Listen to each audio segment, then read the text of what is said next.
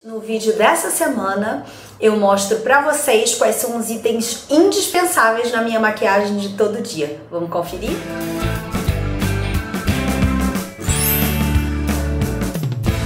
Na minha maquiagem do dia a dia, o que que não pode faltar de jeito nenhum?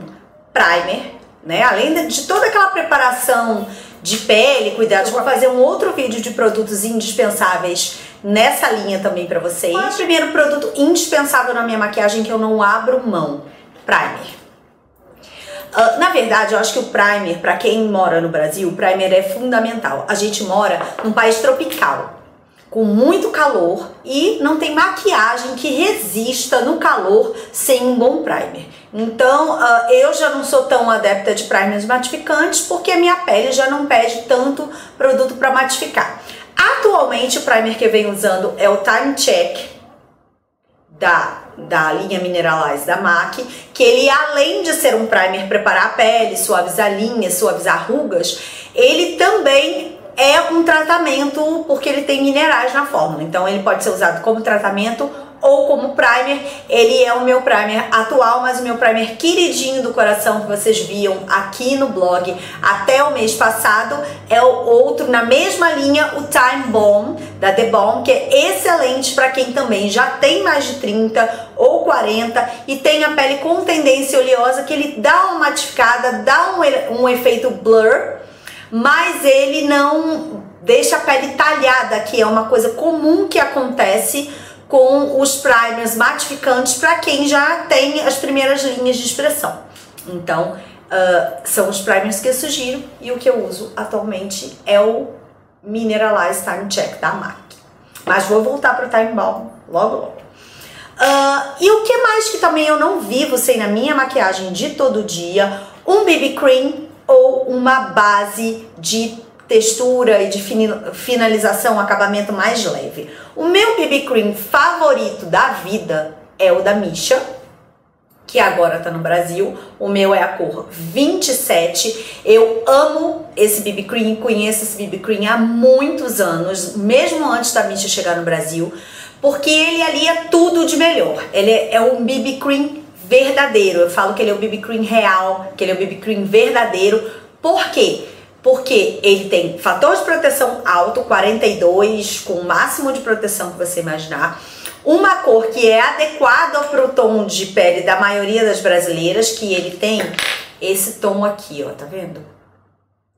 De, uh, digamos assim, que de um bege médio para dourado, porque os outros tons ou são acinzentados demais, ainda tem um tom acima desse que é o 31, que é para quem é morena mais morena, mas o, o ideal para a maioria dos brasileiros é o que eu uso, né, que é morena clara, média, que é o 27. O 23 ele já é um pouquinho acinzentado para o meu tom de pele, para quem é branquinha, o 21 seria o mais adequado.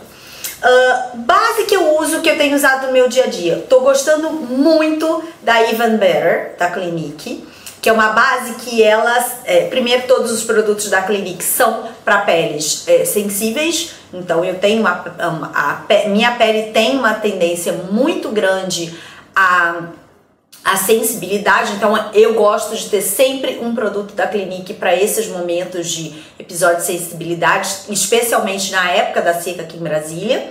Então eu conheci recentemente essa base, que o que, que ela faz, na verdade?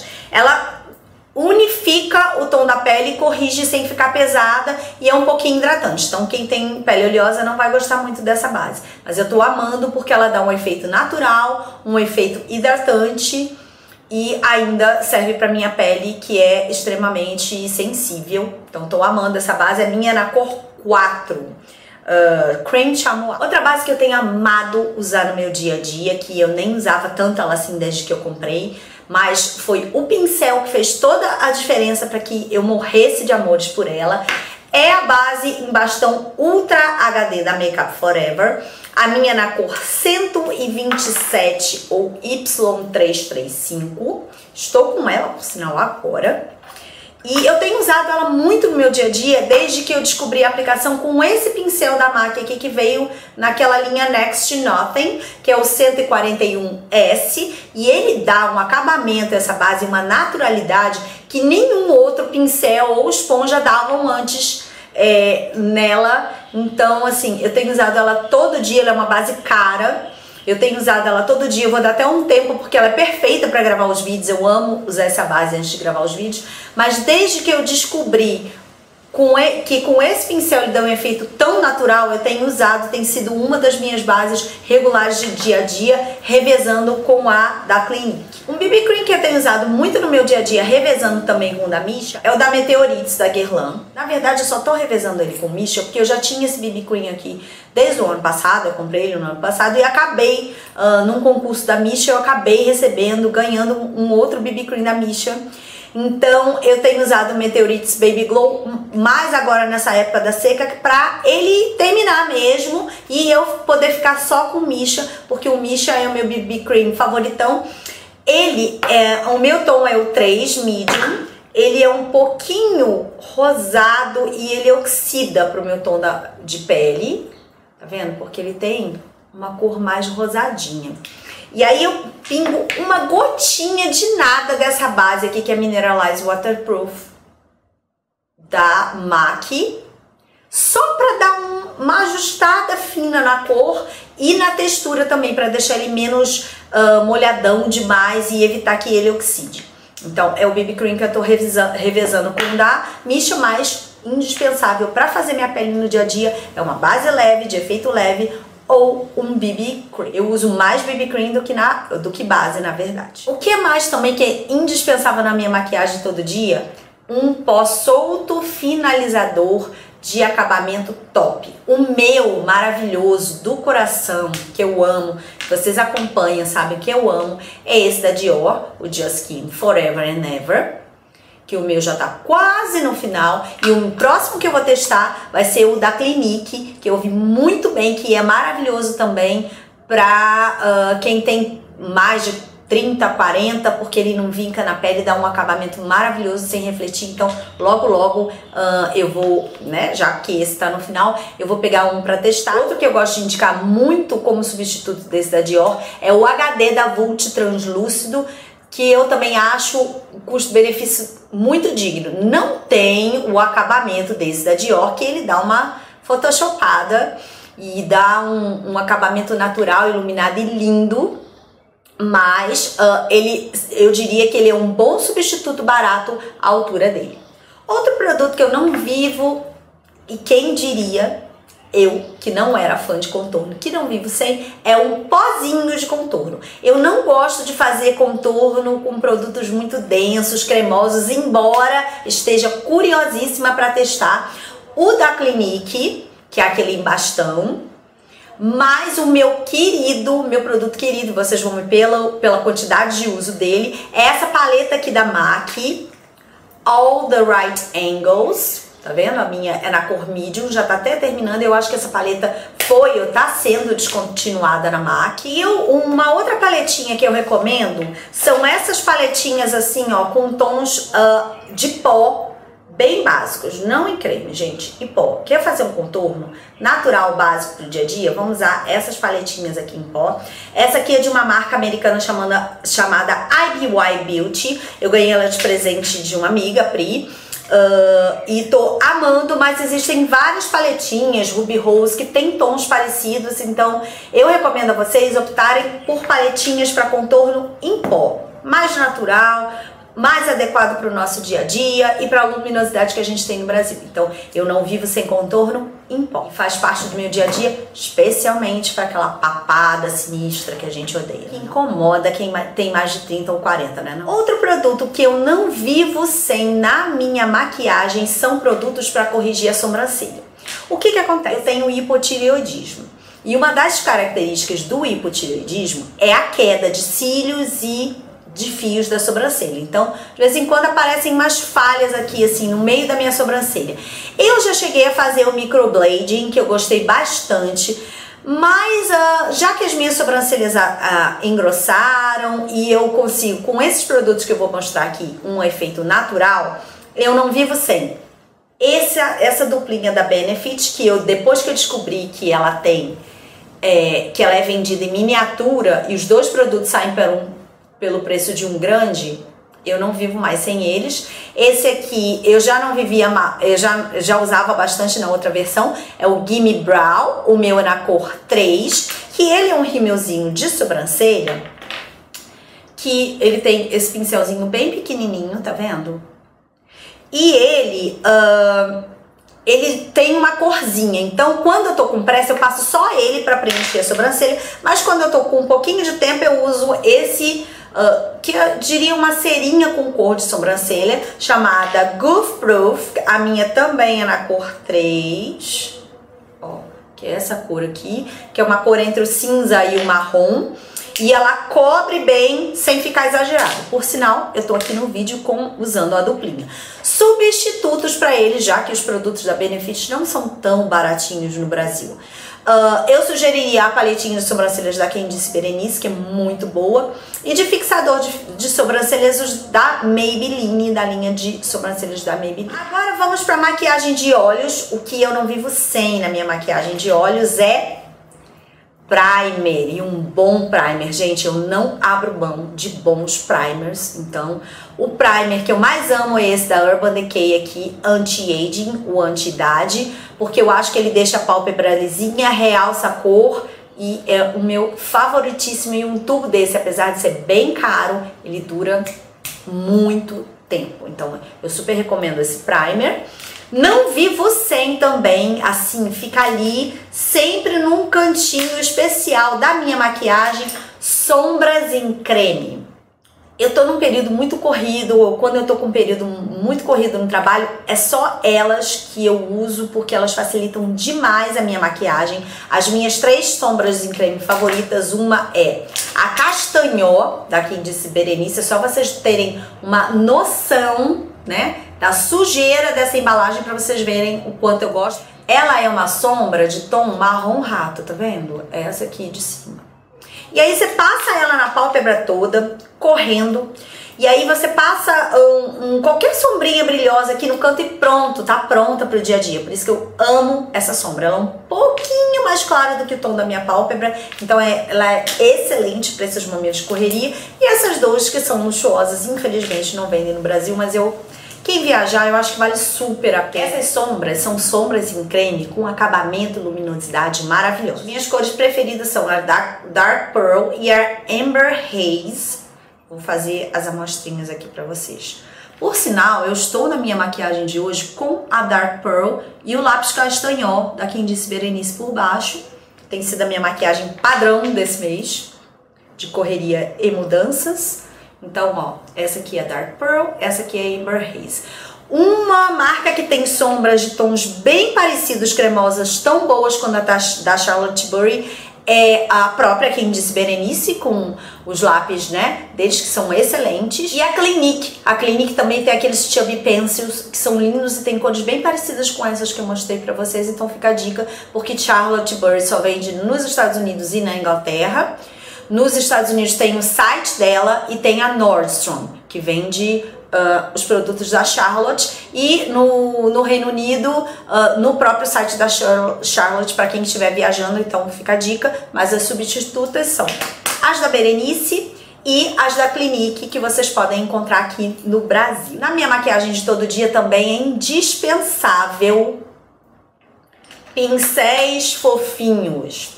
É só vocês verem as, a condição dos meus.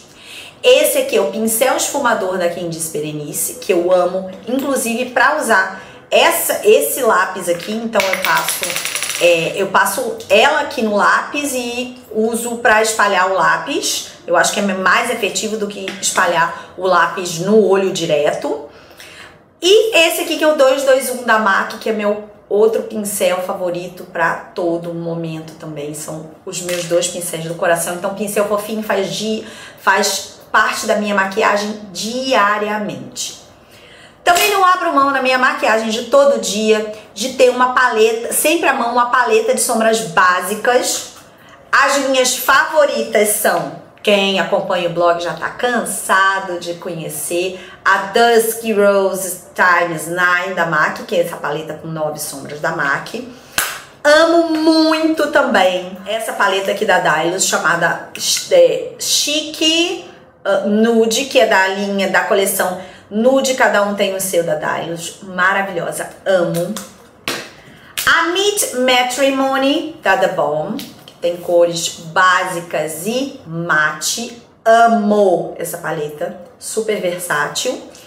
E uma querida que não é barata, volta e meia ela entra naquela promoção dos 40% da MAC, que é a Warm Neutrals Times 15, que é a paleta com 15 sombras de tons uh, neutros. E essa paleta foi uma das melhores coisas que aconteceram nesse meu ano, porque ela é quase que indispensável para mim. Amo.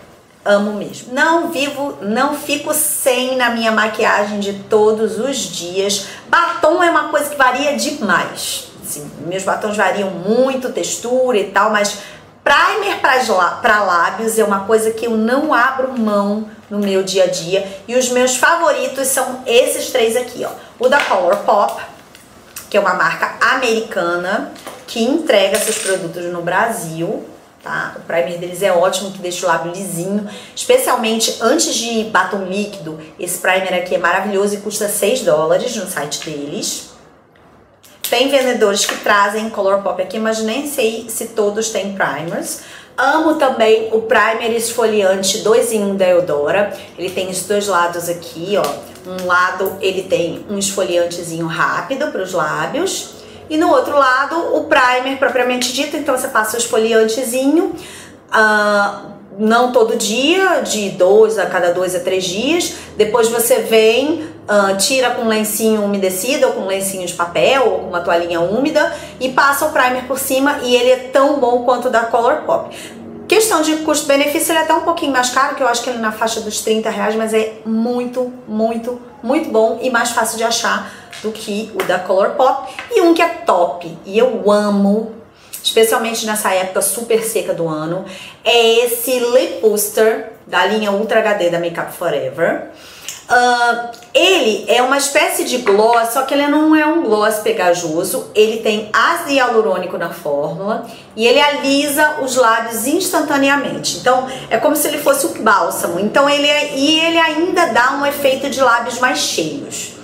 Então, quando a coisa tá feia e nenhum desses dois outros primers resolvem, é esse lip booster, que inclusive dá pra você usar como um glossinho transparente por cima, que ele fica ótimo também, não escorre e ele alisa os lábios na hora, na hora, na hora, então recupera os lábios na hora, então quando a coisa tá feia, é ele que eu, que eu não vivo sem na minha maquiagem de jeito nenhum, nenhum. E se nada der certo, se eu não tiver com tempo pra nada, eu só passo base, BB Cream e rímel, máscara de cílios.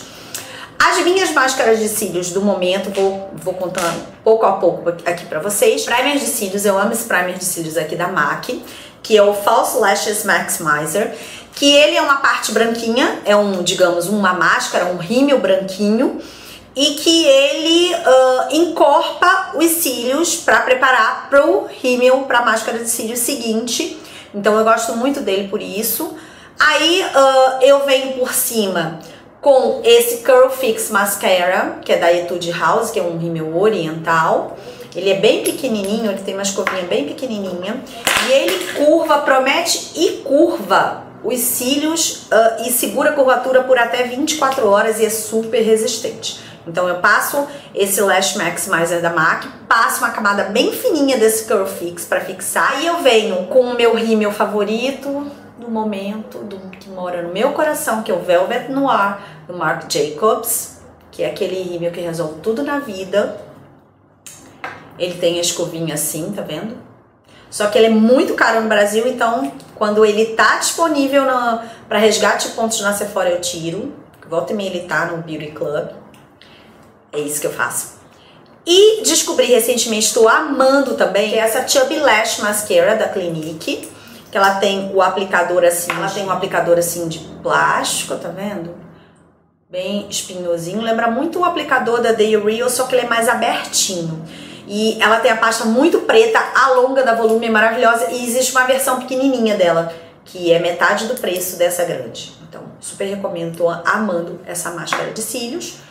Uh, que eu não vivo sem também de jeito nenhum, além de assim, se eu não tiver tempo para fazer nada, é base, rímel e corretivo. Eu tenho muito olheira, então corretivo é uma coisa, foi prim o primeiro item de maquiagem que eu comecei a usar diariamente. Então, o que, que eu não vivo sem atualmente de corretivo? Tenho usado esse Tinted Eyeliner da Bobbi Brown, que é uma versão líquida daquele corrector, famoso corrector da Bobbi Brown, que é um, um produto mais pêssego ou mais rosado que você passa para neutralizar as olheiras antes. Alternativas nacionais da linha Naked Skin da Ruby Rose, que eu gosto bastante. Esse meu Tinted Eye Brightener aqui, ele é no tom Medium to Dark Bisque, que é um tom mais pro rosado, tá? Então tem ele também na versão pêssego. Quem for viajar ou for pra Argentina, que tem loja na, da Bobbi Brown também, super recomendo,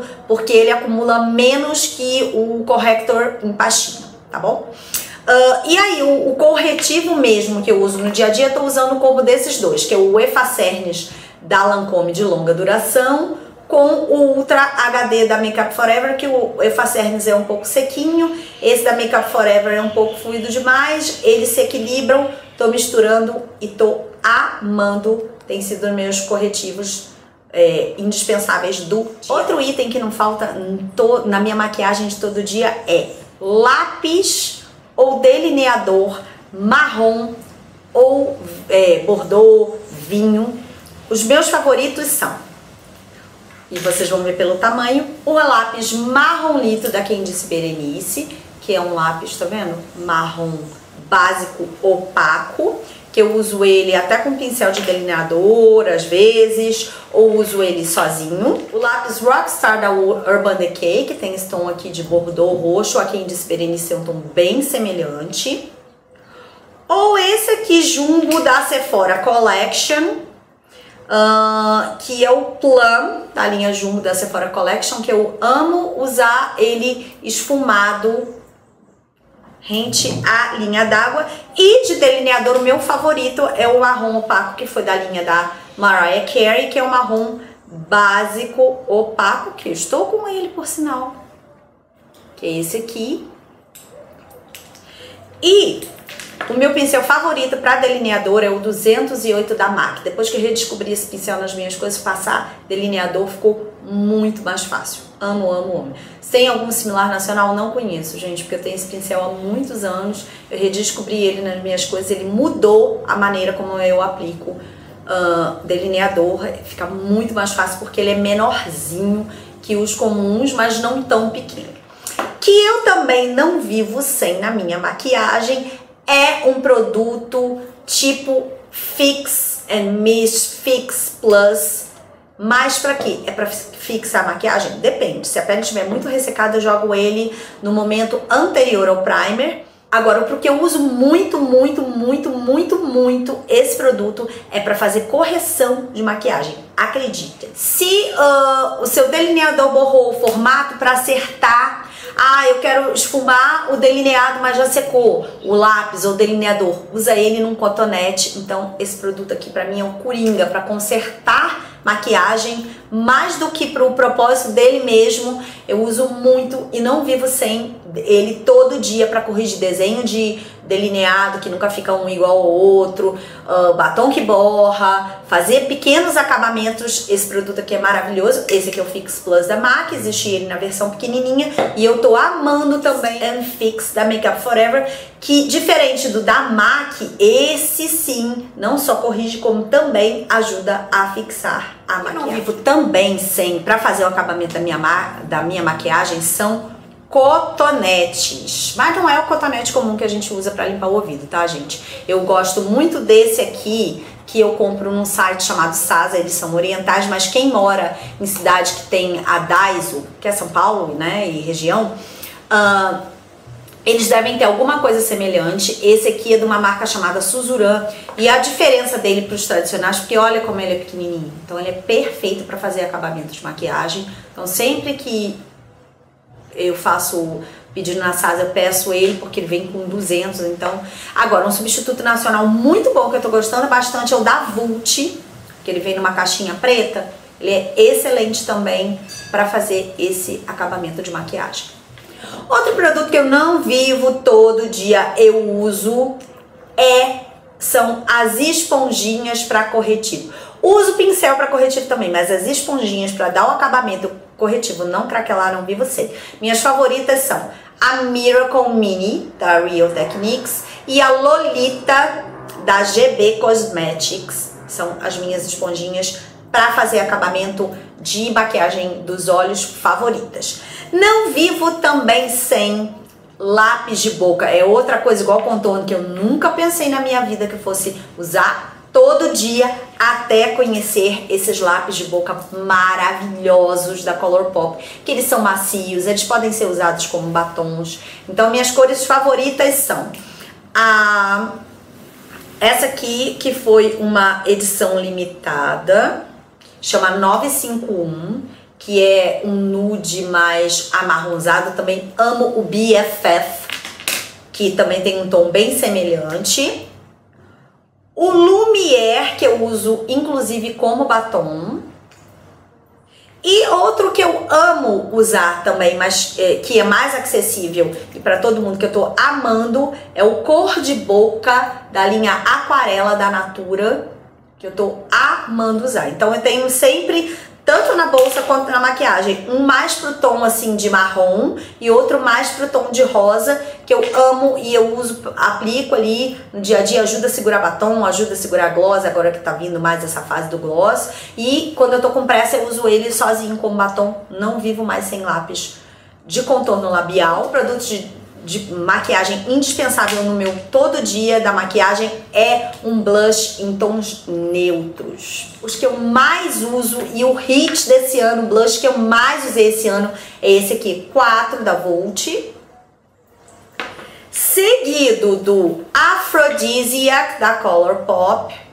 E para quem quer uma versão em pó, e nacional, o Malve da Quem Disse Berenice. Deixa eu fazer a amostra deles aqui, ó. Esse aqui é o 4 da Vult, que é o que eu tô hoje.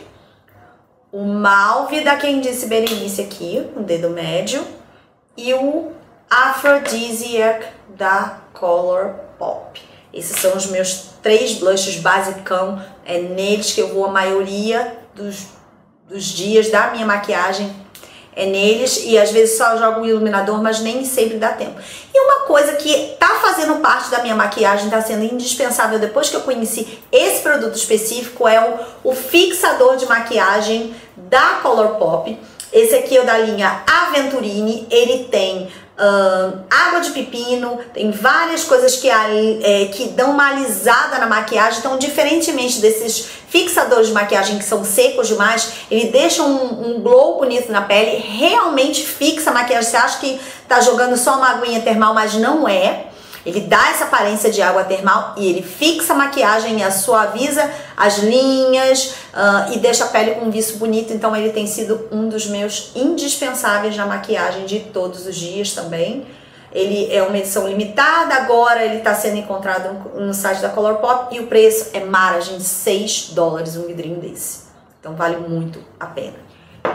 Então esses foram os meus produtos indispensáveis na minha maquiagem de todo dia. Espero que vocês tenham gostado. Se vocês gostaram desse vídeo, clique em like para ajudar a divulgar o vídeo e o canal. Mês que vem vai vir um de indispensáveis de cuidados com a pele. Acompanhe o blog também pelo site e Instagram. E todos os links estão aqui no box de descrição para que vocês possam me acompanhar. Um beijo e até o próximo vídeo.